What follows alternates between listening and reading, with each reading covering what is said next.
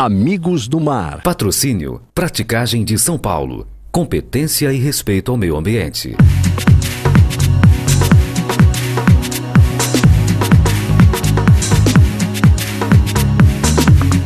Nessa reforma, houve algumas construções novas.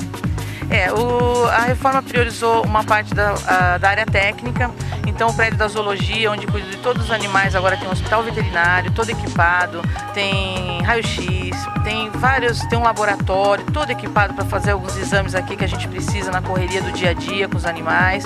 Então, um setor de nutrição, com uma cozinha também grande, arejada é, e planejada mesmo para os animais aqui do parque, que a gente não tinha antigamente, era uma cozinha bem pequenininha.